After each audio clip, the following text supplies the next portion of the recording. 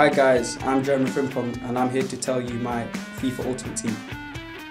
I'm going to choose the formation 4-3-3 and in goalkeeper I will have Alisson, the guy that plays for Liverpool because as you can see he had a good season so yeah I'm going to pick him and then left back I will pick Mendy from Real Madrid because he's very fast, very strong, can attack and defend.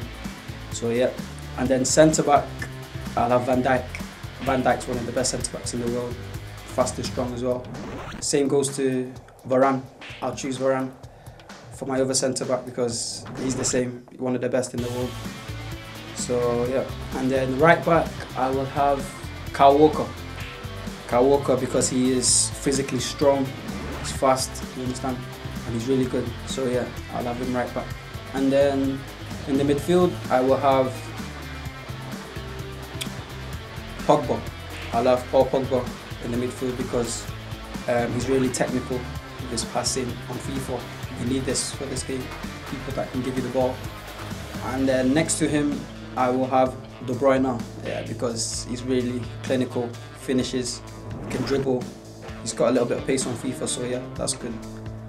And then the other centre midfield will be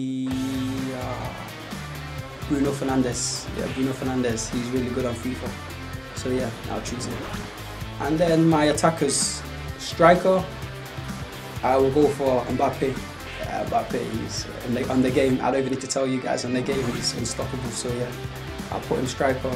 And then left wing, I will have Mane, uh, Sadio Mane left wing because he's really clinical, strong, fast as well. You know, FIFA, if you're fast, then you're good. So yeah. And then right wing will be Salah, Mo Salah. Yeah. I have Mo Salah right wing. Uh, yeah, because he's the same as mine.